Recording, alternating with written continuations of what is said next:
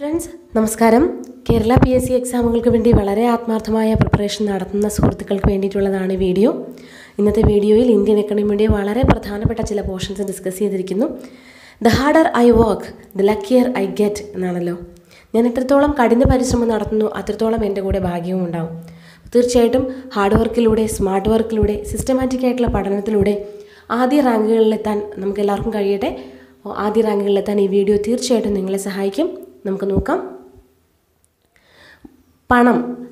പണവുമായിട്ട് ബന്ധപ്പെട്ട ലേറ്റസ്റ്റ് ആയിട്ട് അല്ലെങ്കിൽ ഇന്ത്യൻ എക്കണോമിക്സിൽ എന്താണ് ലേറ്റസ്റ്റ് ആയിട്ട് സംഭവിച്ച ഒരു കാര്യം എന്ന് പറഞ്ഞു കഴിഞ്ഞാൽ രണ്ടായിരത്തി പതിനാറിൽ നവംബർ എട്ടിന് ഡിമോണിറ്റൈസേഷൻ ചെയ്യുണ്ടായി. അപ്പോൾ ഇന്ത്യയിൽ നടപ്പിലാക്കിയിട്ടുള്ള മൂന്നാമത്തെ ഡിമോണിറ്റൈസേഷൻ ആയിരുന്നു അത്. അപ്പോൾ ഈ ഡിമോണിറ്റൈസേഷനുമായിട്ട് ബന്ധപ്പെട്ട ഒരുപാട് പ്രശ്നങ്ങളും ഒക്കെ ഉണ്ടായി. അഞ്ഞൂറ് ആയിരം നോട്ടുകളുടെയൊക്കെ നിരോധനം നടത്തിയതായിരുന്നു. അസാധു അഞ്ഞൂറ് ആയിരം നോട്ടുകൾ അസാധുവാക്കി. അപ്പോൾ ഇവിടെ പഴയ മഹാത്മാഗാന്ധി സീരീസിലുള്ള നോട്ടുകളും പുതിയ മഹാത്മാഗാന്ധി സീരീസിലുള്ള നോട്ടുകളുടെയും ചിത്രങ്ങളാണ് തന്നിരിക്കുന്നത്. ഇതുമായിട്ട് ബന്ധപ്പെട്ട് കേരള പി എസ് സി കഴിഞ്ഞ പല എക്സാമുകളിലും ഒരുപാട് ചോദ്യങ്ങൾ ചോദിച്ചിട്ടുണ്ട്. ഫോർ എക്സാമ്പിൾ അമ്പത് രൂപ ചിത്രത്തിൽ ആലേഖനം അമ്പത് രൂപ നോട്ടിൽ ആലേഖനം ചെയ്തിരിക്കുന്ന ചിത്രം ഏതാണ്? അഞ്ഞൂറ് രൂപ നോട്ടിൽ ആലേഖനം ചെയ്തിരിക്കുന്ന ചിത്രം ഏതാണ്? അങ്ങനത്തെ ചോദ്യങ്ങളൊക്കെ നമുക്ക് പ്രതീക്ഷിക്കാം. അതുകൊണ്ട് നോട്ടുകളുമായിട്ട് ബന്ധപ്പെട്ടിട്ടുള്ള ചിത്രങ്ങൾ അല്ലെങ്കിൽ അവയുടെ അവയുടെ കളർ ഇതൊക്കെ നമ്മൾ അറിഞ്ഞിരിക്കുന്നത് വളരെ ഇമ്പോർട്ടന്റ് ആണ്. നമുക്കൊന്ന് കമ്പയർ ചെയ്ത് പഠിച്ചു നോക്കാം. പഴയ നോട്ടുകളെയും പുതിയ നോട്ടുകളെയും. അപ്പോൾ ഇത് പഴയ നോട്ടുകളുടെ ചിത്രമാണ് കൊടുത്തിരിക്കുന്നത്. അഞ്ച് രൂപ നോട്ട് പഴയ മഹാത്മാഗാന്ധി സീരീസിലുള്ളൊരു നോട്ടായിരുന്നു. അത് ഇപ്പോഴും നിലനിൽക്കുന്നുണ്ട്. അഞ്ച് രൂപ നോട്ട് എന്ന് പറയുന്നത് അതിന്റെ ഒരു ഗ്രീൻ കളറായിരുന്നു. അതിന്റെ ഡയമെൻഷൻ അതായത് നീളവും വീതിയും ഒക്കെ വേണമെങ്കിൽ പഠിക്കുന്നവർക്ക് പഠിക്കാം. പക്ഷെ അത് നമ്മുടെ എക്സാം വൈസ് നോക്കുമ്പോൾ അത്ര ഇമ്പോർട്ടൻസ് അല്ല. അത് കുറച്ചും കൂടെ വലിയ ഒരു കേസ് പോലുള്ള എക്സാമുകൾക്ക് പഠിക്കണം എന്നുള്ളവർക്ക് അത് പഠിക്കാം. തീർച്ചയായിട്ടും. ഏതായാലും അഞ്ച് രൂപ നോട്ടിലെ ആലേഖനം ചെയ്തിരിക്കുന്ന ചിത്രം ട്രാക്ടറാണ് പിന്നെ പത്ത് രൂപ നോട്ടിലാണെങ്കിൽ വൈൽഡ് ലൈഫ് ഇപ്പം നമ്മളുടെ ഇന്ത്യയിൽ നിലനിൽക്കുന്ന ഒരുപാട് വൈൽഡ് ലൈഫ് പ്രൊട്ടക്ഷൻ ആക്റ്റുകളുണ്ട് അപ്പോൾ അതിൽ ഏറ്റവും പ്രധാനപ്പെട്ട സംരക്ഷിക്കപ്പെട്ട മൃഗങ്ങളാണ് റൈനോസറോസും എലിഫന്റ് ടൈഗർ പോലുള്ളതൊക്കെ. അപ്പോൾ അത്ര വൈൽഡ് ലൈഫിന്റെ ചിത്രമാണ് പത്ത് രൂപ നോട്ടിൽ പഴയ പത്ത് രൂപ നോട്ടിൽ കൊടുത്തിരിക്കുന്നത്. അതായത് ഈ നോട്ടുകളൊക്കെ രണ്ടായിരത്തി അഞ്ച് വരെയുള്ള നോട്ടുകളാണ് കേട്ടോ. രണ്ടായിരത്തി അഞ്ചിൽ വരെയുള്ള നോട്ടുകളാണ് ഈ നോട്ടുകൾ പഴയ മഹാത്മാഗാന്ധി സീരീസിലുള്ള നോട്ടുകൾ. പിന്നെ റുപ്പീസ് ട്വന്റി ഇരുപത് രൂപ എന്ന് പറഞ്ഞ ഒരു ഒരു റെഡ് ഓറഞ്ച് കളറായിരുന്നു അപ്പോൾ ആ ഇരുപത് രൂപ ഇപ്പോഴും ഉപയോഗിക്കുന്നുണ്ട്. ഇരുപത് രൂപ മൗണ്ട് ഹാരിയറ്റ് ആണ് അതിലെ ചിത്രം. മൗണ്ട് ഹാരിയറ്റ് എന്ന് പറഞ്ഞാൽ ആൻഡമാനിലുള്ള ഒരു ഒരു ഒരു ബീച്ചാണ് അതിൽ കൊടുത്തിരിക്കുന്നത്. അപ്പോൾ നോട്ട് ആരുടെയെങ്കിലും കയ്യിലുണ്ടെങ്കിൽ ഒന്ന് എടുത്ത് നോക്കുക. നേരിട്ട് കണ്ട് പഠിക്കുന്നതും അല്ലെങ്കിൽ ഇതുപോലെ ചിത്രങ്ങളിലൂടെ പഠിക്കുന്നതും നമ്മുടെ മനസ്സിൽ എളുപ്പം പതിഞ്ഞു നിൽക്കും. അപ്പോൾ ഇരുപത് രൂപ നോട്ടിൽ മൗണ്ട് ഹാരിയറ്റ് ആയിരുന്നു. അഞ്ച് രൂപയിലെ ട്രാക്ടർ പത്ത് രൂപയിലെ വൈൽഡ് ലൈഫ് ഇരുപത് രൂപയിൽ മൗണ്ട് ഹാരിയറ്റ് ഇൻ ആൻഡമാൻ പിന്നെ നൂറ് രൂപ. നൂറ് രൂപയിൽ ഹിമാലയൻ മൗണ്ടൈൻസിലെ ഗോശല എന്ന് പറയുന്ന അതായത് സിക്കിമിലുള്ള ഒരു പീക്ക് പോയിന്റാണ് ഗോശാല എന്ന് പറയുന്ന അതിന്റെ pronunciation G O E C H A എന്നാണ് ഗോശാല എന്ന് പറയുന്ന ഒരു ഒരു പീക്കാണ്. ഇപ്പോൾ ഹിമാലയ മൗണ്ടൈൻസിലുള്ളതാണ്. അപ്പോൾ ഓർക്കുക നൂറ് രൂപയിൽ പഴയ നൂറ് രൂപയിൽ ഹിമാലയ മൗണ്ടൈൻസ് ആയിരുന്നെങ്കിലും അറ്റ്ലീസ്റ്റ് ഓർത്ത് വയ്ക്കുക പിന്നെ അഞ്ഞൂറ് രൂപ. അഞ്ഞൂറ് രൂപയിലുണ്ടായിരുന്ന ചിത്രം ദണ്ഡി മാർച്ചിന്റെ ചിത്രമാണ്. അഞ്ഞൂറ് രൂപയിലുണ്ടായിരുന്ന ചിത്രം ദണ്ഡി മാർച്ചിന്റെ ചിത്രമാണ്. പിന്നെ ആയിരം രൂപയിലുണ്ടായിരുന്ന ആയിരം രൂപ ഒരു ഒരു ആംബർ റെഡ് കളറിലുള്ളൊരു നോട്ടായിരുന്നു. ആയിരം രൂപയിൽ എക്കണോമി ഓഫ് ഇന്ത്യ നമ്മുടെ ഇന്ത്യൻ എക്കണോമിയെ പ്രതിനിധാനം ചെയ്യുന്ന ചിത്രമായിരുന്നു അതിനകത്ത് കൊടുത്തിട്ടുണ്ടായിരുന്നത്. ഓർക്കുക ഒരു ആംബർ റെഡ് കളറിലുള്ള ആ ആയിരം രൂപ നോട്ട് എല്ലാവർക്കും ഓർമ്മയുണ്ടാവും. അത് എക്കണോമി ഓഫ് ഇന്ത്യ ആയിരുന്നു അതിനകത്ത് കൊടുത്തിരുന്നത്. അഞ്ഞൂറിൽ ദണ്ഡി മാർച്ചും. അപ്പോൾ ഇത്രയും പഴയ നോട്ടുകളുടെ കാര്യം ഒന്ന് ഓർത്തു വയ്ക്കാം ഓക്കെ അപ്പോൾ ഇനി നമുക്ക് അതുമായിട്ട് ബന്ധപ്പെട്ട് നോക്കാം. അഞ്ഞൂറ് രൂപയും ആയിരം നോട്ടുകളും ആയിരം രൂപയുടെ നോട്ടുകളും പിൻവലിക്കുന്നതിനായിട്ട് പ്രധാനമന്ത്രി പ്രഖ്യാപനം നടത്തിയത് എന്നാണ്. രണ്ടായിരത്തി പതിനാറ് നവംബർ എട്ടിനാണ്. അപ്പോൾ നിലവിൽ വരുന്നത് രണ്ടായിരത്തി പതിനാറ് നവംബർ ഒമ്പതിന് പിറ്റേ ദിവസമാണ്. നോട്ട് അസാധുവാക്കൽ തീരുമാനത്തിന് പ്രധാനമന്ത്രിക്ക് പ്രേരണ നൽകിയ സാമ്പത്തിക വിദഗ്ധൻ ആരായിരുന്നു? അനിൽ ബോക്കിൽ എന്ന് പറയുന്ന ഒരു വ്യക്തിയായിരുന്നു. ഇദ്ദേഹത്തിന്റെ പ്രാധാന്യം എന്താണെന്ന് ചോദിച്ചാൽ അത് അർത്ഥകാന് അർത്ഥക്രാന്തി സംസ്ഥാനം എന്ന് പറയുന്ന പൂനെ ബേസ്ഡ് ആയിട്ടുള്ള മഹാരാഷ്ട്രയിലെ പൂനെ ബേസ്ഡ് ആയിട്ടുള്ള വർക്ക് ചെയ്യുന്ന ഒരു സ്ഥാപനമാണ്. ഒരു എക്കണോമിസ്റ്റുകളുടെ ചാർട്ടേഡ് അക്കൗണ്ടൻസിന്റെയൊക്കെ കുറേ സാമ്പത്തിക വിദഗ്ധന്മാർ മെമ്പർഷിപ്പുള്ള ഒരു സംഘടനയാണ് ഈ അർദ്ധ ക്രാന്തി സംസ്ഥാനം എന്ന് പറഞ്ഞാൽ അപ്പോൾ അവർ കുറേ നിർദ്ദേശങ്ങൾ അവർക്ക് കുറേ പ്രപ്പോസൽസ് ഉണ്ടായിരുന്നു. അപ്പോൾ അവർ പ്രധാനമന്ത്രി നരേന്ദ്രമോദിയുടെ ഒരു ഒരു നയൻ മിനിറ്റ്സ് ആയിരുന്നു അവർ ആവശ്യപ്പെട്ടത് അവരുടെ കാര്യങ്ങളൊക്കെ ഡിസ്കസ് ചെയ്യാനായിട്ട്. അപ്പോൾ അദ്ദേഹം അനിൽ ബോക്കീലിന്റെ നേതൃത്വത്തിൽ കുറച്ച് പേര് പ്രധാനമന്ത്രിയെ കണ്ടു. അങ്ങനെ ഒരു രണ്ട് അപ്പോൾ ആദ്യത്തെ കാര്യങ്ങൾ കേട്ട് കഴിഞ്ഞപ്പോൾ തന്നെ ഒരു രണ്ട് മണിക്കൂറോളം അദ്ദേഹത്തിന് സമയം അനുവദിക്കുകയുണ്ടായി. അപ്പോൾ അതിൽ നിന്ന് ഒരുപാട് പ്രചോദനം ഉൾക്കൊണ്ടാണ് നോട്ട് നിരോധനം നടപ്പിലാക്കിയത്.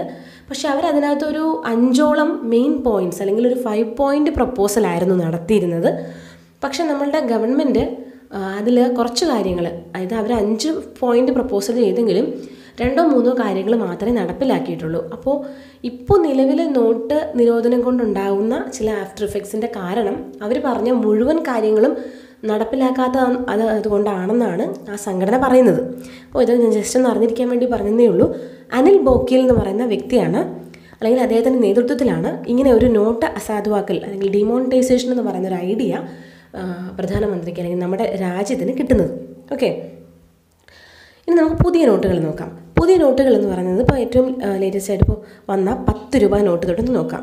പത്ത് രൂപ നോട്ട് ചോക്ലേറ്റ് ബ്രൗൺ കളറാണ്. അപ്പോൾ പുതിയ നോട്ടുകൾ എന്ന് പറഞ്ഞാൽ നല്ല കളർഫുൾ ആയതുകൊണ്ട് തന്നെ കളർ കൂടി നമ്മൾ ഓർത്തിരിക്കുന്നത് നന്നായിരിക്കും. അപ്പോൾ പത്ത് രൂപ നോട്ടിൽ എന്ന് പറയുന്നത് ചോക്ലേറ്റ് ബ്രൗൺ കളറാണ്. ചോക്ലേറ്റ് ബ്രൗൺ കളറാണ്. അതിൽ കൊടുത്തിരിക്കുന്ന ചിത്രം കൊണാർക്ക് സൺ ടെമ്പിളിന്റെ കൊണാർക്കിലെ സൂര്യക്ഷേത്രത്തിലെ സൂര്യക്ഷേത്രത്തിന്റെ ചിത്രമാണ് പത്ത് രൂപയിലുള്ളത്. Chocolate brown and Konark sun temple. പിന്നെ അതുപോലെ ഇരുപത് രൂപ നോട്ടിലാണെങ്കിൽ ഒരു ഗ്രീനിഷ് യെല്ലോ ആയിട്ടുള്ള കളറാണ് അപ്പോൾ ഇപ്പോൾ എല്ലാവരുടെയും കയ്യിൽ ഇപ്പോൾ ഇരുപത് രൂപ നോട്ട് ആയി കഴിഞ്ഞു. അപ്പോൾ ഇരുപത് രൂപ നോട്ടാണെന്ന് തോന്നുന്നു. എനിക്ക് തോന്നുന്നു ലാസ്റ്റ് വന്ന നോട്ട് ഇരുപത് രൂപ നോട്ട് ഗ്രീനിഷ് യെല്ലോ കളറാണ് അതിൽ എല്ലോറ കേവ്സിന്റെ ചിത്രമാണ് കൊടുത്തിരിക്കുന്നത്. എല്ലോറ കേവ്സിന്റെ ചിത്രമാണ് ഗ്രീനിഷ് യെല്ലോ കളറാണ് ഇരുപത് രൂപയിൽ പഴയ ഇരുപത് രൂപയിൽ എന്താണെന്ന് കൂടിയെന്ന് അപ്പോൾ നമ്മളൊന്ന് ഓർത്തിരിക്കുക കേട്ടോ. പഴയ ഇരുപത് രൂപയിൽ എന്തായിരുന്നു? അപ്പോൾ നിങ്ങളൊന്ന് ഓർക്കാൻ ശ്രമിക്കുക. അത് ആൻഡമാനിലെ മൗണ്ട് ഹാരിയറ്റ് ബീച്ചിന്റെ ചിത്രമായിരുന്നു അല്ലേ? ഇനി അതുപോലെ അമ്പത് രൂപ നോട്ട്. ഇത് പ്രീവിയസ് ഇയർ ക്വസ്റ്റ്യൻ ആണ്. അമ്പത് രൂപ നോട്ടിൽ ഒരു ഒരു ഫ്ലൂറസൻ ബ്ലൂ കളറാണ് Hampi with chariot. Hampi with chariot. Hampi എന്ന് പറഞ്ഞാൽ ഒരു ഹെറിറ്റേജ് സൈറ്റ് ഒരു പഴയ ഒരു നഗരമാണ് നമുക്കറിയാം. Hampi with chariot. അതാണ് അമ്പത് രൂപ നോട്ടിലെ ചിത്രം. ഓക്കെ. അപ്പോൾ പത്ത് രൂപ കൊണാർക്ക് സൺ ടെമ്പിൾ ഇരുപത് രൂപ എല്ലോറ കേവ്സ് അമ്പത് രൂപ ഹംപി വിത്ത് ചാരിയറ്റ്. പിന്നെ ഉള്ളത് നൂറ് രൂപ. നൂറ് രൂപ എന്ന് പറഞ്ഞാൽ ഒരു ലാവൻഡർ കളറിലൊരു നോട്ട് നോട്ടായിരുന്നു. പഴയ നൂറ് രൂപയിൽ ഹിമാലയൻ മൗണ്ടൻസ് ആയിരുന്നു. പക്ഷേ പുതിയ ലാവൻഡർ കളറുള്ള നൂറ് രൂപയിൽ റാണി കി വാവാണ്. റാണി കി വാവ് എന്ന് പറഞ്ഞാൽ ബാവൂലീസ്. അതായത് ഈ പണ്ട് വെള്ളമൊക്കെ നിറച്ച് ബാവൂലീസിലൊക്കെ അല്ലേ വെള്ളം ശേഖരിച്ചിരുന്നത് അപ്പോൾ അതുപോലെ റാണി കി വാവ് എന്ന് പറയുന്നതിന്റെ ചിത്രമാണ് ഈ നൂറ് രൂപ നോട്ടിൽ ഇപ്പോൾ കൊടുത്തിരിക്കുന്നത്. പിന്നെ ഇരുന്നൂറ് രൂപ. ഇരുന്നൂറ് രൂപ നല്ല ബ്രൈറ്റ് യെല്ലോ കളറാണ്. ഇരുന്നൂറ് രൂപ ബ്രൈറ്റ് യെല്ലോ കളറാണ്. അതിൽ സാഞ്ചി സ്തൂപമാണ് കൊടുത്തിരിക്കുന്നത്. സാഞ്ചി സ്തൂപമാണ് കൊടുത്തിരിക്കുന്നത്. ഇരുന്നൂറ് രൂപയിലെ സാഞ്ചി സ്തൂപം. പിന്നെ അഞ്ഞൂറ് രൂപ അഞ്ഞൂറ് രൂപ ചോദിച്ചിട്ടുള്ളതാണ്. അത് റെഡ് ഫോർട്ടാണ് ചെങ്കോട്ടയാണ്. റെഡ് ഫോർട്ടാണ് അഞ്ഞൂറ് രൂപയിൽ കൊടുത്തിരിക്കുന്നത്. ഒരു ഒരു സ്റ്റോൺ ഗ്രേ കളറാണ്. ഓക്കെ. ഒരു ഒരു പച്ച കളർ തന്നെ. അത് സ്റ്റോൺ ഗ്രേ പച്ച പോലെ ഇരിക്കുന്ന കളറാണ്. പക്ഷേ ആക്ച്വലി ഇത് സ്റ്റോൺ ഗ്രേ എന്നാണ് ആ കളർ പറയുന്നത്. അപ്പോൾ ഈ കളറിനൊക്കെ പ്രത്യേക പേരുകളുള്ളതുകൊണ്ട് നമ്മൾ ആ കളറിന്റെ ഒന്ന് ഓർത്തിരിക്കണം. നൂറ് രൂപ ലാവൻഡർ ഇരുന്നൂറ് രൂപ ബ്രൈറ്റ് യെല്ലോ അഞ്ഞൂറ് രൂപ സ്റ്റോൺ ഗ്രേ പിന്നെ രണ്ടായിരം രൂപ എന്ന് പറഞ്ഞാൽ മജന്ത കളർ തന്നെയാണ്. മജന്ത അതിൽ മംഗൾയാന്റെ ചിത്രമാണ്. അത് മംഗൾയാൻ എന്ന് പറഞ്ഞാൽ അതിലെ മാർസ് ഓർബിറ്റർ ഇല്ലേ മോം അതിന്റെ ചിത്രമാണ് കൊടുത്തിരിക്കുന്നത് മംഗൾയാൻ. ഓക്കെ മജന്തയാണ് കളറ് രണ്ടായിരം രൂപയുടെ നോട്ടിന്റെ കളറ്. ഒന്ന് കമ്പയർ ചെയ്ത് തന്നെ പഠിക്കുക അത് ഓർത്ത് വെക്കണം. ഇതിൽ എല്ലാ ഇൻഫർമേഷനും ഉൾപ്പെടുത്തിയിട്ടുണ്ട്. നിങ്ങൾക്കിനി വേറൊരു സോഴ്സ് നോക്കി പോകേണ്ട ആവശ്യമില്ല. ഗ്രാമപ്രദേശങ്ങളിലെ ജനങ്ങൾക്ക് കറൻസി രഹിത ഇടപാടുകളെക്കുറിച്ച് അവബോധം നൽകാൻ കേന്ദ്ര സർക്കാർ ആരംഭിച്ച ടി വി ചാനൽ ഏതാണ്? നമ്മളോട് ചോദിക്കാൻ സാധ്യതയുള്ള ചോദ്യങ്ങളാണ് ഇതിനകത്ത് ഉൾപ്പെടുത്തിയിരിക്കുന്നത്. ഡിജിശാല എന്ന് പറയുന്ന ഒരു ടി വി ചാനലാണ് അല്ലേ? അപ്പോൾ പൊതുവേ ഇന്ത്യയിലുള്ള നമുക്കറിയാം കൂടുതലും ഗ്രാമപ്രദേശങ്ങളാണ്. അപ്പോൾ ക്യാഷ്ലെസ് ആയിട്ടുള്ള കാര്യങ്ങളെക്കുറിച്ചൊന്നും അവർക്ക് അറിയാൻ യാതൊരു വഴിയുമില്ല. കറൻസി രഹിത ഇടപാടുകൾ എങ്ങനെ നടത്തണം എന്നുള്ളതിനെക്കുറിച്ചും അതിന്റെ ആ ഒരു ബെനിഫിറ്റ്സിനെ കുറിച്ചും ഒക്കെ ആളുകളെ പറഞ്ഞ് മനസ്സിലാക്കാനായിട്ട് ഒരു ടി വി ചാനൽ ഉണ്ടായിരുന്നു അതാണ് ഡിജിശാല ഇനി ജനങ്ങൾക്ക് എന്തെങ്കിലും ബുദ്ധിമുട്ടുകളുണ്ടെങ്കിൽ സഹായിക്കാനുണ്ടായിരുന്ന ടോൾ ഫ്രീ നമ്പർ ഏതാണ്? One double four double four ആണ്. One double four double four എന്ന് പറയുന്ന നമ്പറാണ് പി എസ് സിയുടെ ഒരു ലേറ്റസ്റ്റ് ട്രെൻഡാണ് ഇതുപോലുള്ള ടോൾ ഫ്രീ നമ്പറുകൾ ഇപ്പോൾ വനിതാ helpline number child helpline number അങ്ങനെ ഒരുപാട് നമ്പറുകളുണ്ട്. എമർജൻസി കുറേ നമ്പേഴ്സ് അപ്പോൾ അത്ര നമ്പേഴ്സ് ചോദിക്കുക ഇപ്പോൾ ഒരു ലേറ്റസ്റ്റ് ട്രെൻഡാണ് ഓർത്തിരിക്കുക കറൻസി രഹിത ഇടപാടുകൾക്ക് ജനങ്ങളെ സഹായിക്കാൻ ഉള്ള ടോൾ ടോൾ ഫ്രീ നമ്പറാണ് one double four double four ഇന്ത്യയിൽ എത്ര പ്രാവശ്യം ഡിമോണിറ്റൈസേഷൻ നടത്തിയിട്ടുണ്ട്? അത് നമ്മൾ അറിഞ്ഞിരിക്കണം. മൂന്ന് പ്രാവശ്യമാണ്. ആയിരത്തി തൊള്ളായിരത്തി നാൽപ്പത്തി ആറ് ആയിരത്തി തൊള്ളായിരത്തി എഴുപത്തി എട്ട് രണ്ടായിരത്തി പതിനാറ് അപ്പോൾ ആദ്യം നിലവിലുണ്ടായിരുന്ന അയ്യായിരം പതിനായിരം ഒക്കെ ഡിനോമിനേഷനിലുള്ള നോട്ടുകളുണ്ടായിരുന്നു അപ്പോൾ അത് ആയിരത്തി തൊള്ളായിരത്തി നാൽപ്പത്തി ആറിൽ നിരോധിച്ചിട്ടുണ്ട്. പിന്നെ വീണ്ടും അയ്യായിരം പതിനായിരം നോട്ടുകളൊക്കെ തിരിച്ചു വന്നു. അത് കഴിഞ്ഞ് വീണ്ടും ആയിരത്തി തൊള്ളായിരത്തി എഴുപത്തി എട്ടിൽ നോട്ടുകൾ എനിക്കൊന്നും മൊറാർജി ദേശായി പ്രധാനമന്ത്രിയായിരുന്ന കാലഘട്ടത്തിലാണ്. അപ്പോൾ അത് വീണ്ടും എന്ത് ചെയ്തു? നിരോധിച്ചു. ആ നോട്ടുകൾ ഒക്കെ ഹൈ ഡിനോമിനേഷൻ നോട്ടുകൾ നിരോധിച്ചു. പിന്നീട് ഇതിപ്പോൾ നടത്തുന്നത് രണ്ടായിരത്തി പതിനാറിലാണ് അങ്ങനെ മൊത്തം മൂന്ന് പ്രാവശ്യമാണ് ഇന്ത്യയിൽ ഡിമോണിറ്റൈസേഷൻ നടത്തിയിട്ടുള്ളത്. ഇനി നമുക്ക് പ്രതീക്ഷിക്കാവുന്ന മറ്റൊരു ചോദ്യമാണ് ഇന്ത്യയിലെ ആദ്യ കറൻസി രഹിത ഗ്രാമം. ഇന്ത്യയിലെ ആദ്യ കറൻസി രഹിത ഗ്രാമം അഗോദര എന്ന് പറയുന്ന ഗുജറാത്തിലെ അഗോദര എന്ന് പറയുന്ന ഗ്രാമമാണ്. ഇത് തന്നെ കേട്ടോ ഇന്ത്യയിലെ ഒരു എന്താ പറയുക ഏറ്റവും ക്യാഷ്ലെസ് സിറ്റി എന്ന് പറഞ്ഞാൽ അവിടുത്തെ ഒരു നമ്മൾ ഒന്ന് ആർക്കെങ്കിലും ഞാൻ കൂടുതൽ പറഞ്ഞ് ടൈം കളയുന്നില്ല. നിങ്ങൾ അഗോദരയെക്കുറിച്ചൊന്ന് ഗൂഗിൾ ചെയ്ത് നോക്കിയാൽ നിങ്ങൾക്ക് ഒരുപാട് ഇൻഫർമേഷൻ കിട്ടും. അപ്പോൾ ഗുജറാത്തിലെ അഗോദര ഇന്ത്യയിലെ ആദ്യ കറൻസി രഹിത ഗ്രാമമാണ്. ഇന്ത്യയിലെ ആദ്യ കറൻസി രഹിത ഗ്രാമമാണ് ഗുജറാത്തിലെ അഗോദര എന്ന് പറയുന്ന വില്ലേജ് ഓക്കെ അപ്പോൾ നമ്മൾക്ക് പഠിക്കാനായിട്ട് കുറേ ഡിജിറ്റൽ വില്ലേജ് അല്ലെങ്കിൽ ഡിജിറ്റൽ പിന്നെ സ്റ്റേറ്റ് അങ്ങനെ അങ്ങനെ കുറേ ഇൻഫർമേഷൻസ് നമുക്ക് ഉണ്ട്. കുറേ കളക്റ്റീവായിട്ടുള്ള ഇന്ത്യയിലെ ആദ്യത്തെ ഇന്നത് ആദ്യത്തെ ക്യാഷ്ലെസ് ആയിട്ടുള്ള സിറ്റി ഏതാണ് അങ്ങനെ അങ്ങനെ കുറേ കാര്യങ്ങളുണ്ട്. അപ്പോൾ അതിൽ നമുക്ക് ആവശ്യമുള്ളതാണ് ഇതിനകത്ത് ഞാൻ ഉൾപ്പെടുത്തിയിരിക്കുന്നത്. ദക്ഷിണേന്ത്യയിലെ ആദ്യ കറൻസി രഹിത ഗ്രാമം. ഇബ്രാഹിംപൂറാണ് തെലങ്കാനയിലെ ഇബ്രാഹിംപൂർ. തീർച്ചയായിട്ടും ഇന്ത്യയിലെ ആദ്യത്തെ ഡിജിറ്റൽ അല്ലെങ്കിൽ കറൻസി രഹിത ഗ്രാമം എന്ന് പറയുന്നത് ഗുജറാത്തിലെ അഗോദരയാണ് അങ്ങനെയാണെങ്കിൽ നമ്മൾ ദക്ഷിണേന്ത്യയിൽ അത് സൗത്ത് ഇന്ത്യയിൽ അത് ഏതിയാണെന്ന് നമ്മൾ അറിഞ്ഞിരിക്കണം. അത് ഇബ്രാഹിംപൂറാണ് തെലങ്കാന.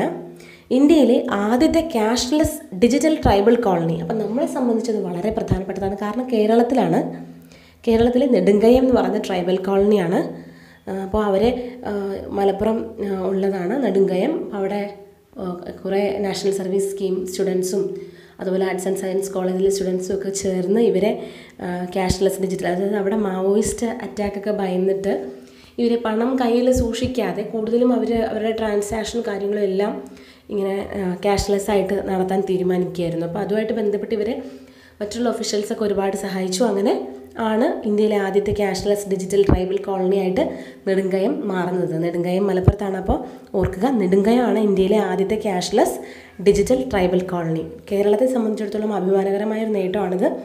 അതുകൊണ്ട് ഇത് നമ്മൾ ഓർത്തിരിക്കണം. ഇന്ത്യയിലെ ആദ്യത്തെ ക്യാഷ്ലെസ് ഡിജിറ്റൽ ട്രൈബൽ കോളനി നെടുങ്കയാണ് ഇനി ഇന്ത്യയിലെ ആദ്യത്തെ കറൻസി രഹിത സംസ്ഥാനം ഏതാണ്? ഇന്ത്യയിലെ ആദ്യത്തെ കറൻസി രഹിത സംസ്ഥാനം ഗോവയാണ് ഗോവയാണ്. അപ്പോൾ ഇങ്ങനത്തെ കാര്യങ്ങളൊക്കെ വരുമ്പോൾ എളുപ്പത്തിൽ ഇംപ്ലിമെന്റ് ചെയ്യാനായിട്ട് പറ്റുന്ന സംസ്ഥാനങ്ങളാണ് ഗോവയൊക്കെ. കാരണം അവിടെ കമ്പാരിറ്റീവ്ലി പോപ്പുലേഷനും എല്ലാം ഒക്കെ എടുത്ത് നോക്കുകയാണെങ്കിൽ അവിടുത്തെ സോഫിസ്റ്റിക്കേറ്റഡ് ആയിട്ടുള്ള മെത്തേഡ്സും ടെക്നോളജിയും എല്ലാം ഒക്കെ എടുത്ത് നോക്കുമ്പോൾ ഗോവയിലൊക്കെ അത് എളുപ്പത്തിൽ കൊണ്ടുവരാൻ കഴിയും. അപ്പോൾ ഇന്ത്യയിലെ ആദ്യത്തെ കറൻസി രഹിത സംസ്ഥാനം എന്ന് പറയുന്നത് ഗോവയാണ്. ഒരു എക്സാം പോയിന്റ് ഓഫ് വ്യൂവിലാണ് നമ്മൾ ഇത്രയും പറഞ്ഞത്. ഇനി ആധുനിക സാമ്പത്തിക ശാസ്ത്രത്തിന്റെ പിതാവ്. കാരണം അതൊരു ഭയങ്കരമായ റിപ്പീറ്റഡ് ആയിട്ടുള്ള ഒരു ചോദ്യം ആയതുകൊണ്ടാണ് ഉൾപ്പെടുത്തിയത്. Adam Smith. ആധുനിക സാമ്പത്തിക ശാസ്ത്രത്തിന്റെ പിതാവ് ആദം സ്മിത്താണ്. ആദം സ്മിത്തിന്റെ വെൽത്ത് ഓഫ് നേഷൻസ് എന്ന കൃതിയിൽ പറഞ്ഞിരിക്കുന്ന പ്രശസ്തമായ സിദ്ധാന്തം എന്താണ്? ലേസേസ് ഫെയർ എന്ന് പറയുന്ന സിദ്ധാന്തമാണ്. സത്യത്തിൽ അദ്ദേഹത്തിന്റെ ബുക്കിന്റെ പേര് വെൽത്ത് ഓഫ് നേഷൻസ് എന്ന് മാത്രമല്ല ഞാൻ inquiry into the causes of എന്നൊക്കെ പറഞ്ഞിട്ട് ഫുൾ ഒരു നെയിമുണ്ട് പക്ഷേ വെൽത്ത് ഓഫ് നേഷൻസ് എന്നാണ് ആ ബുക്ക് അറിയപ്പെടുന്നത്. ഓക്കെ അപ്പോൾ ആദം സ്മിത്തിന്റെ വെൽത്ത് ഓഫ് നേഷൻസ് എന്ന കൃതിയിൽ പറഞ്ഞിരിക്കുന്ന പ്രശസ്തമായ സിദ്ധാന്തമാണ് ലേസസ് ഫെയർ സിദ്ധാന്തം. എന്താണ് ഈ ലേസസ് ഫെയർ സിദ്ധാന്തം വെച്ചാൽ അദ്ദേഹം പറയുന്നത് പ്രൈവറ്റ് പാർട്ടീസിന് ബിസിനസ് നടത്താനുള്ള അല്ലെങ്കിൽ പ്രൈവറ്റ് പാർട്ടീസ് കൂടുതലും ബിസിനസ്സിൽ ഇൻവോൾവ് ആയിട്ട് അവർക്ക് ഫ്രീലി അവർക്ക് ബിസിനസ് ചെയ്യാനുള്ള ഒരു എൻവയോൺമെന്റ് ഉണ്ടാക്കണം without government control government control ഇല്ലാതെ തന്നെ പ്രൈവറ്റ് പാർട്ടീസിന് കൂടുതൽ ഇൻഡസ്ട്രിയിലേക്ക് ഇറങ്ങി വരാനുള്ള ഒരു സാഹചര്യം ഉണ്ടാക്കണം എന്നുള്ളതാണ് ലേസസ് ഫെയറിന്റെ ഈ സിദ്ധാന്തം എന്ന് പറയുന്നത്. ഓക്കെ അപ്പോൾ അത് എക്കണോമിയിൽ നമ്മുടെ രാജ്യത്തിന്റെ എക്കണോമിയിൽ ഒരുപാട് വളർച്ചയ്ക്ക് കാരണമാകും എന്നാണ് അദ്ദേഹം പറയുന്നത്. അപ്പോൾ അതാണ് ലേസസ് ഫെയർ സിദ്ധാന്തം. അത് ആദം സ്മിത്തിന്റെ വെൽത്ത് ഓഫ് നേഷൻസ് എന്ന് പറയുന്ന ബുക്കിൽ പറഞ്ഞിരിക്കുന്നു. ഓക്കെ അപ്പോൾ അദ്ദേഹത്തിന്റെ വളരെ പ്രോഗ്രസീവായിട്ടുള്ള ഒരുപാട് മെത്തേഡ്സ് കൊണ്ടുവന്നത് കൊണ്ട് തന്നെയാണ് അദ്ദേഹം ആധുനിക സാമ്പത്തിക ശാസ്ത്രത്തിന്റെ പിതാവ് എന്നറിയപ്പെടുന്നത്. ഇനി മറ്റൊരു പ്രധാനപ്പെട്ട ചോദ്യമാണ് പ്ലൂട്ടോളജി എന്ന് പറയുന്നത് എന്തിനെക്കുറിച്ചുള്ള പഠനമാണ്? പ്ലൂട്ടോളജി എന്തിനെക്കുറിച്ചുള്ള പഠനമാണ്? സമ്പത്തിനെക്കുറിച്ചുള്ള പഠനമാണ്. അപ്പോൾ നിങ്ങൾ അഫ്നോളജി കേട്ടിട്ടുണ്ടാവും. ഈ അഫ്നോളജി എന്ന് പറയുന്നത് സയൻസ് ഓഫ് എക്കണോമിക്സ് ആണ്. അതായത് സാമ്പത്തിക ശാസ്ത്രം. സയൻസ് ഓഫ് എക്കണോമിക്സ് ശരിയാണ്. അഫ്നോളജിയും ഓപ്ഷനിലുണ്ടെങ്കിൽ നമുക്ക് അഫ്നോളജി എഴുതാം. പക്ഷെ പ്ലൂട്ടോളജി എന്ന് പറയുമ്പോൾ ആരും തെറ്റിദ്ധരിക്കേണ്ട കാരണം പ്ലൂട്ടോളജി എന്ന് കേൾക്കുമ്പോൾ ഉടനെ നമ്മുടെ മനസ്സിലേക്ക് ആ ഒരു എന്താ ഇപ്പോൾ പ്ലാനറ്റ് അല്ലാതെ പോയ ഒരു പ്ലാനറ്റിനെ കുറിച്ച് നമ്മുടെ മനസ്സിലേക്ക് വരും. പ്ലൂട്ടോ എന്നൊക്കെ പറഞ്ഞിട്ട്. പക്ഷെ പ്ലൂട്ടോളജി ഓർക്കുക. അതൊരു സയന്റിഫിക് സ്റ്റഡി ഓഫ് വെൽത്താണ് സമ്പത്തിനെക്കുറിച്ചും സമ്പത്തിനെ അത് കൈകാര്യം ചെയ്യുന്നതിനെക്കുറിച്ചും ഒക്കെയുള്ള സയന്റിഫിക് ആയിട്ടുള്ള സ്റ്റഡിയാണ് പ്ലൂട്ടോളജി പ്ലൂട്ടോളജി വിത്ത് അഫ്നോളജി ഈ രണ്ട് ടീമും നന്നായിട്ട് ഓർത്തിരിക്കണം. കൺഫ്യൂസ്ഡ് ആവണ്ട. പണം ചെയ്യുന്നത് എന്താണോ അതാണ് പണം എന്ന് പറഞ്ഞത് ആരാണ്? വളരെ വളരെ ഫേമസ് ആയിട്ടുള്ള നമ്മളൊരു മണിയുടെ ഡെഫിനിഷൻ നോക്കുമ്പോൾ നമുക്ക് ഏറ്റവും ആദ്യം കിട്ടുന്ന വളരെ നല്ലൊരു ഡെഫിനിഷനാണ് പണം ചെയ്യുന്നത് എന്താണോ അതാണ് പണം എന്ന് പറഞ്ഞത്. പ്രൊഫസർ വോക്കറാണ് അദ്ദേഹം വളരെ അറിയപ്പെടുന്ന ഒരു ഒരു എക്കണോമിസ്റ്റ് ആൻഡ് പ്രൊഫസറൊക്കെയാണ് അദ്ദേഹം ആണ് പണം ചെയ്യുന്നത് എന്താണോ അതാണ് പണം എന്ന് പറഞ്ഞത്. അല്ലേ? Money is what money does എന്ന് പറഞ്ഞ വ്യക്തിയാണ് പ്രൊഫസർ വോക്കർ ഇത് ഓർത്തിരിക്കുക. ഇത്രയുമാണ് നമ്മളുടെ ചോദ്യങ്ങളും ഈ ഒരു ആദ്യത്തെ ഭാഗത്ത് എക്കണോമിയുടെ ആദ്യത്തെ വീഡിയോയിൽ നമ്മൾ ഉൾപ്പെടുത്തിയിരിക്കുന്ന കാര്യം ഈ വീഡിയോയിലുള്ള കാര്യം നിങ്ങൾ റിവിഷന് വേണ്ടിയിട്ടോ അല്ലാതെ പഠിക്കാനോ നോട്ട്സ് തയ്യാറാക്കാനോ ഒക്കെ നിങ്ങൾക്ക് ഉപയോഗിക്കാം. അടുത്ത എക്കണോമിയുടെ ഒരു വീഡിയോ അടുത്ത അടുത്ത വീഡിയോയിൽ ഉറപ്പായിട്ടും നമുക്ക് ഡിസ്കസ് ചെയ്യാം.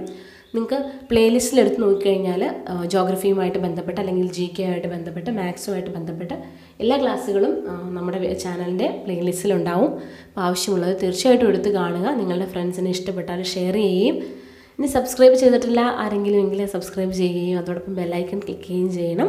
Thank you thank you for your support